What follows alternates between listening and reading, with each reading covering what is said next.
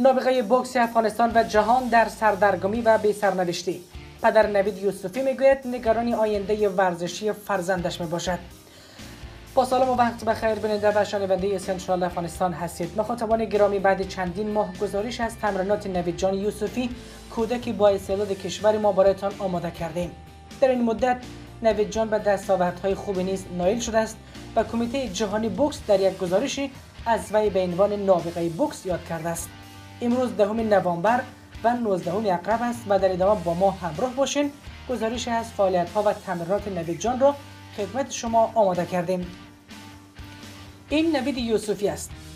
کسی که برای اولین بار با بوکس های ضربتی و سرعتیش توجه مردم را در شبکه های اجتماعی به خصوص فیسبوک و یوتیوب به خودش جلب کرد. او اما در یک سال گذشته روی حرکت های نمایشی، ضربه زدن با پا و دیگر حرکت های ورزشی نیز کار کرده است. اولین مربی نوید جان یوسفی پدرش است. حالا اما مربیان اندونزیایی نیز دارد. همونطوری که گفتم یک سال قبل بود که نوید جان یوسفی توجه همگان را به خودش جلب کرد. به خودش و البته بوکس هایی که می‌زد. اولین گزارش سنترال افغانستان از نوید یوسفی به قدر استقبال شد که در صفحات مختلف بیننده هایش به مرز میلیون ها رسید.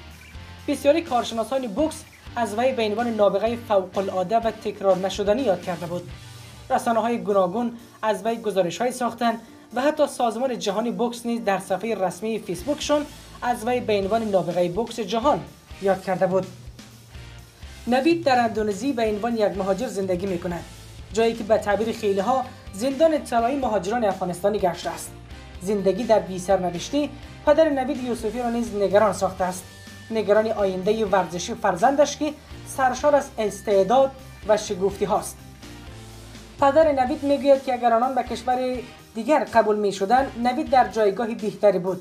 او هرچند تمام تلاشش را برای نوید انجام می دهد ولی امیدوار است هر چه زودتر به کشور سومی قبول شود تا به پسرش در رسیدن به رویاهایی که برایش بافته است کمک کند. هرچند در باشگاه نوید جان یوسف تا حد امکانات خوبی در اختیار دارد ولی آنان در ساعات مشخص باید آنجا باشند. برای همین مجبور است بسیاری از تمریناتشان را در خانه انجام دهد. در ادامه چند تا کلیپ از نویجان یوسفی را براتان بدونی از اینکه من صحبت بکنم به نشر میرسانیم. از توجه به همراهتان جهان سپاس.